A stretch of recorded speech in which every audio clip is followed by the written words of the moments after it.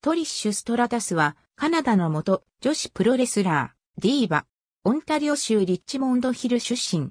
身長163センチメートル、体重57キログラム。アメリカのプロレス団体 WWE に所属していた。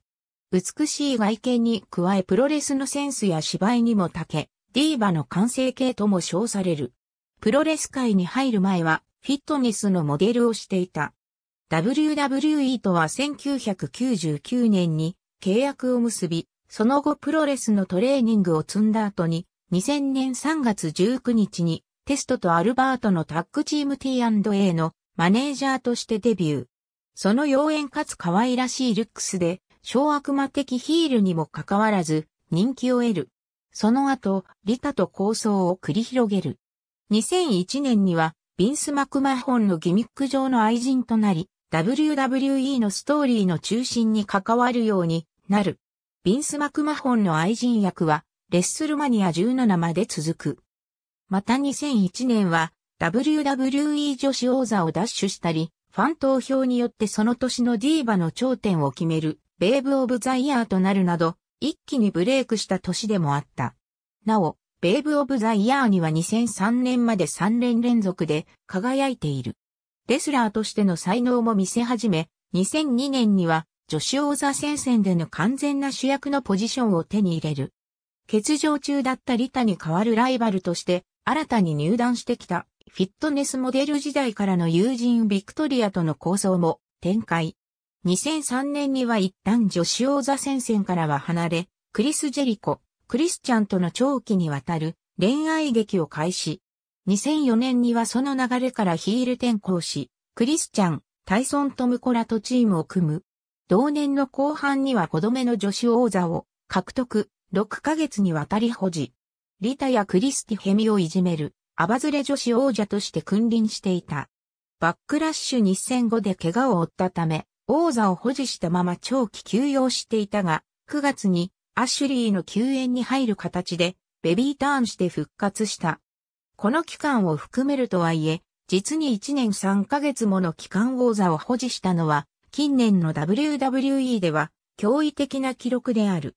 2006年はトリッシュに憧れ歪んだ愛に溺れたミッキー・ジェームスと構想。9月、14年間交際した男性との結婚に伴い引退が発表された。9月17日、WWE の大会、アンフォーギヴンでリタを破り通算7度目の WWE 女子王座を獲得、現役王者のまま引退。最後の試合でフィニッシュに使用したのは尊敬する同じカナダ出身の英雄ブレット・ハートの必殺技、シャープシューターだった。その際、リングアナウンサーのリリアン・ガルシアは彼女の晴れ姿に感動し、大粒の涙を流していた。2007年12月10日、リタと共に RAW15 周年記念特別番組に登場し、元気な姿を見せた。2008年5月5日、トリッシュの地元、カナダのトロントで行われた RAW のバックステージに姿を見せ、トレバー・マードックの歌に困惑し、ロン・シモンズのダームに賛同するというサプライズを演じた。同年12月22日の RAW にも、ジョン・シナのミステリアスパートナーとして登場し、サンティーノ・マレラベス・フェニックス組に勝利する。2011年3月、WWE の別番組タフイナフ出演の PR のため久々に RAW に登場。4月よりトレーナーとしてタフイナフに出演した。2013年4月、WWE 殿堂入り。その授与式のスピーチで妊娠と9月、出産予定であることを発表。同年9月30日に男児を出産。2018年1月22日、RAW25 周年記念特別番組に多くのレジェンドと共に登場。2018年1月28日、ロイヤルランブルでの女子ロイヤルランブル戦で30番目の選手としてサプライズ参加。